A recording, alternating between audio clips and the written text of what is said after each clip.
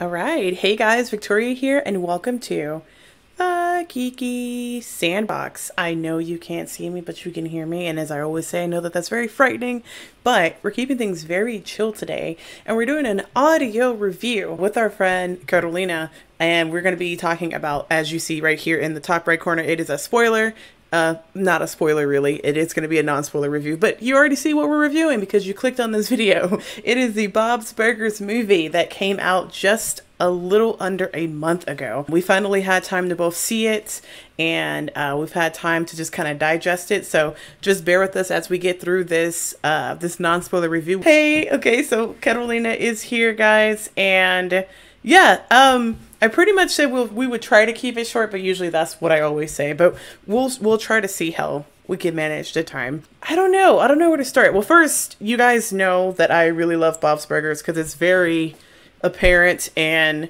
a lot of the themes on my YouTube channel as well as my Twitch channel when I brought everything over there for a while. Um, I actually started watching Bob's Burgers when I was in college uh, because someone else had been watching it and they were super interested in it and they lived in my dorm. And so I was like, maybe this is something I would like. And I've been hooked ever since. Um, what is your experience with Bob's Burgers, Scuttle? Um, I think it's probably like the ultimate comfort show for me. Mm-hmm. Like, it's just like no matter what episode I start on, like it's always a good time, and it's like I'm part of the family. yeah, I was gonna say I totally agree. I feel like I can rewatch. Like, there's always that meme, and I think I posted that like reshared meme on my Facebook way, way, way back. But it's like that, like the two highway exits where you can like watch a new show or rewatch Bob's Burgers for the five thousandth time. Yeah. And I feel like that's Yeah. that's so relatable because like you said, it's a comfort show. Like I really like the family. I feel like there's some like relatable things that can go on with the family, even though some of it can be exaggerated, obviously for the show and it's like nature. It's, it's still an animated comedy show about a family. Um, but you know what kind of makes them different than some of the others is like they are a family that are just trying to make it because with Family Guy and something like um, like The Simpsons, there still is that like middle class type of thing that they have going on. But I feel like maybe that is kind of a stretch because Homer and Peter, they do struggle and they've changed jobs a billion times throughout their series, right? Granted, they've been on for ever, many, many, many years. Bob's Burgers is just like the junior baby right now. Um, but, and of course, the show is about Bob's job and his family being involved in all of that. So I think that's what makes it different. But I do feel like, in a sense, Bob, as a parent, um, struggles a little bit more in, in regard to like just trying to keep the a roof over their heads. I think, whereas like you know Homer and I, I wouldn't even go as far as to say uh, Peter is more of a like gimmicks guy, right? Um, and you don't have like the gimmicks going on with Bob himself. You may you may get the gimmicks out of his children, and I think that's kind of like what sets the show apart. So it is like this. It does fall into that category of being this like family animated show, but it's still a thing of um, it, it, it still has its own unique charm. I think. My favorite part about the Belchers, especially like the parents, are how supportive they are Oh yeah. of their kids. I think they get that award. Um, yeah, they might struggle, but I feel like their love and commitment to each other as a family is like I think what resonates and what makes the show so comforting. Oh, that's such a good point. I agree. If you do line up those parents, and I'll try to add some pictures and posts, you know, you have your Marges and Homers and Loises and Peters. And there is just something so different about the way Bob and Linda are with their kids, especially Linda. I always felt like if they ever did a crossover with Bob's Burgers and any of the, in any of the other family animated shows like that, that it would be breathtaking to see Linda interact with like them because there's she's so different. and I can see them finding her annoying, but I love her so much. I would actually say I think Linda might be my favorite character. And I know uh, that's always a hard one. Um, who would you say is your favorite character? Oh, that is a hard one. I don't know. I feel like mine toggles from week to week. I think right now, uh, Bob is probably first place, but I think like a couple weeks ago, Gene was it. I guess it depends on how I'm feeling. I'm like, yeah, today's Bob, or yeah, today's Lydia. but they're all great. Yeah, they really are. And um except for Jimmy Pesto. Oh, except for Jimmy Pesto. Fuck that guy. to keep it super simple without giving everything away, uh, the movie is pretty much like it's structured like a Bob's Burgers episode, but like it, it happens over the course of multiple days. Um, and it's leading up to summer. And one of the things I thought the movie was going to be about at first was that it was going to be them and this family like having their summer adventure. But I thought it was a nice take that it was them getting ready for summer and whatever that was going to mean for each individual character. I would say the movie is pretty much about another day at the restaurant, except Bob and Linda in the restaurant are in trouble and they're trying to figure out how to save the restaurant before um like by a certain time. And so you kind of have that going on. And so of course you have other things happening in the background. But would that be a good way would you describe if you were trying to tell someone what this movie was about without spoiling anything would would that be a good description? Yeah definitely. Keep a race a yeah. race to to beat that deadline. Save the yeah yeah.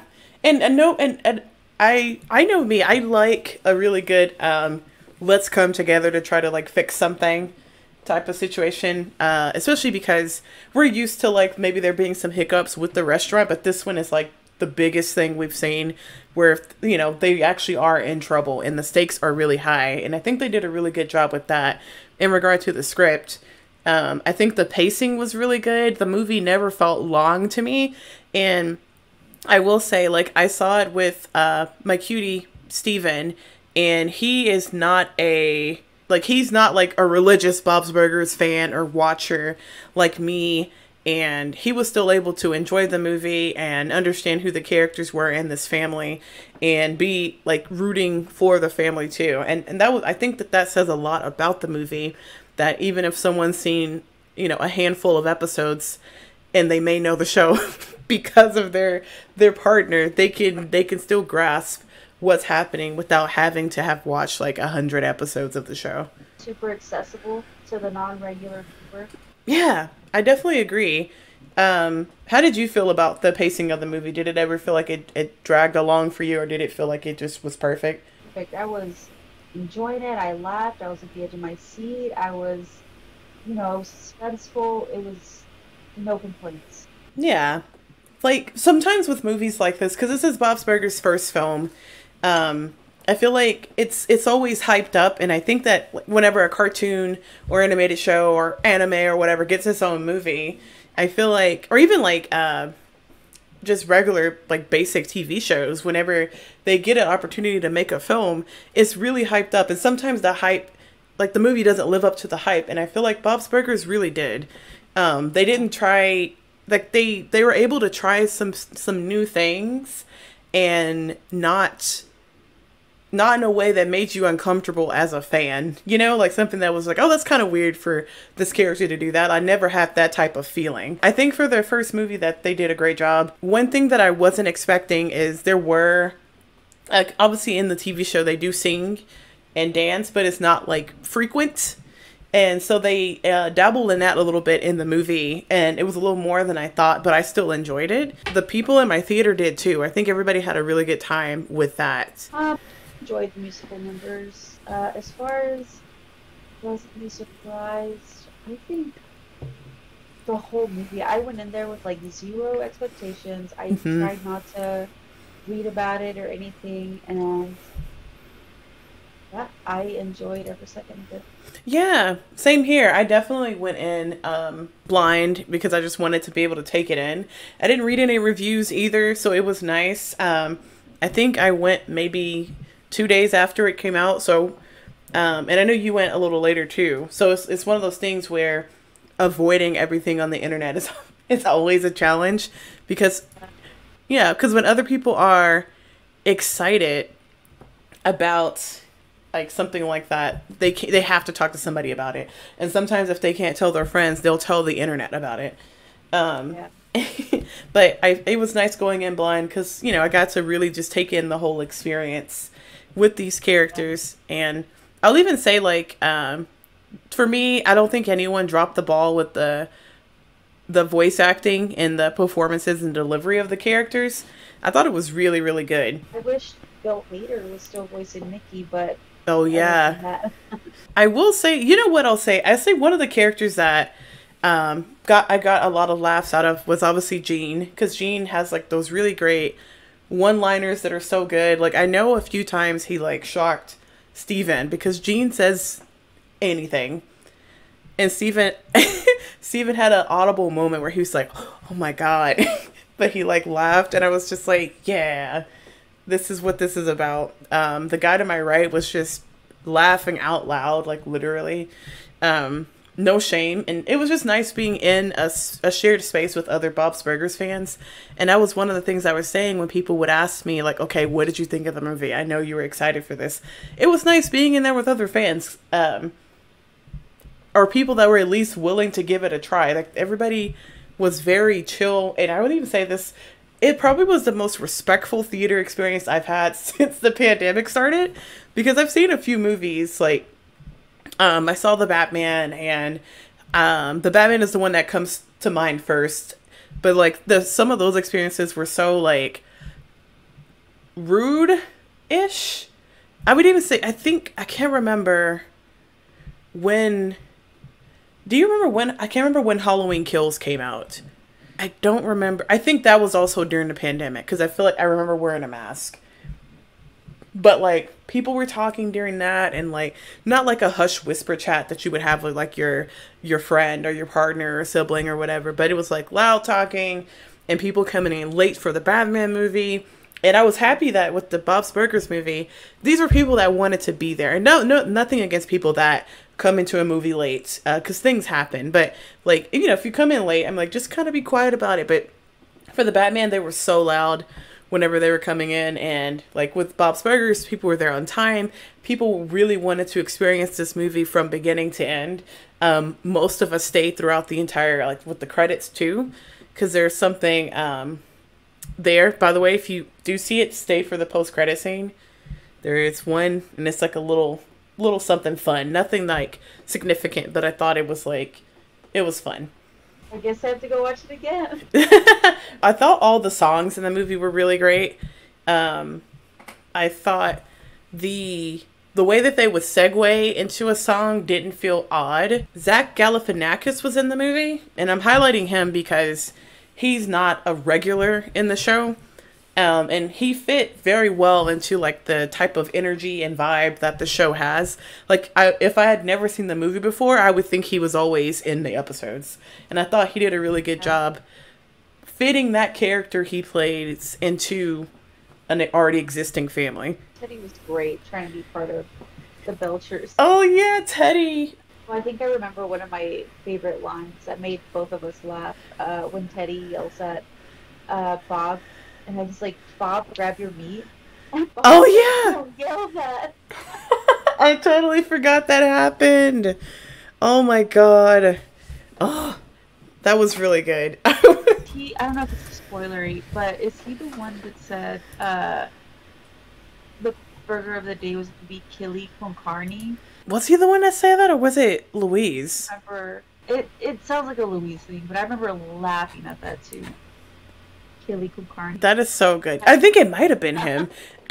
if someone who has never seen Bob's Burgers ask you why they should go see this movie, what would you say? I would say because it is such a good time and you don't need to have seen any of the other episodes and like I did, you're gonna laugh, you're gonna cry, you're well maybe not cry, but you're gonna be at the edge of your seat and it's just hilarious. It's more than I expected.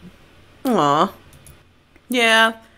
As guess I would say the same thing. It's I feel like there was a nice range of like emotions there. I was trying to explain to Steven that they're, they try to like because we know Tina's fears and like stuff like that, but and even with Gene, like we've had episodes where we learn more about Gene and like um him being on the spectrum, you know, different things like that. But I feel like with Louise, we kind of get the same note, but not a bad note, if that makes sense. Like we know that she's tough and she is very good at like swindling people and she's still a loving sister and daughter.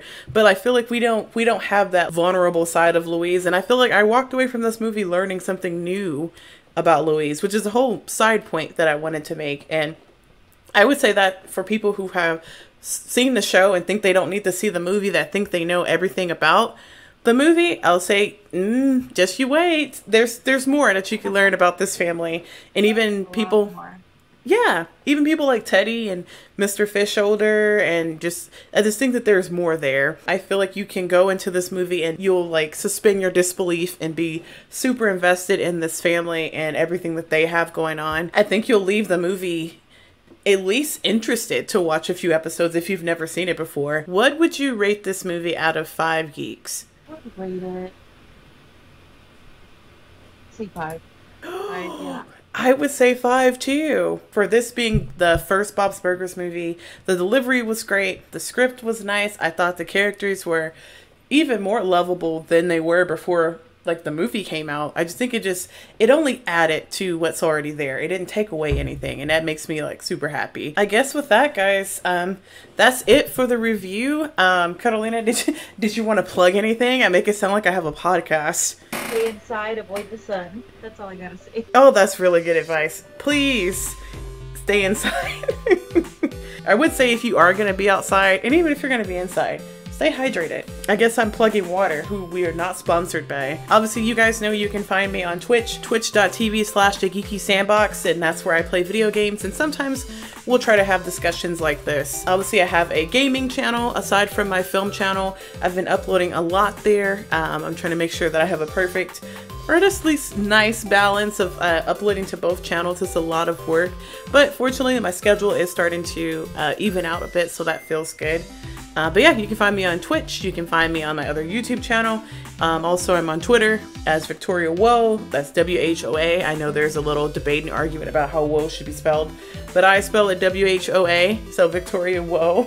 Uh, but yeah, feel free to check me out there. And again, thank you, Carolina, for doing this review with me. I appreciate it. And you? Yeah, anytime. thank you. Until then, I will see you guys in the next video. Bye. I'm waving from my desk. Carolina's waving. We're saying goodbye. Bye.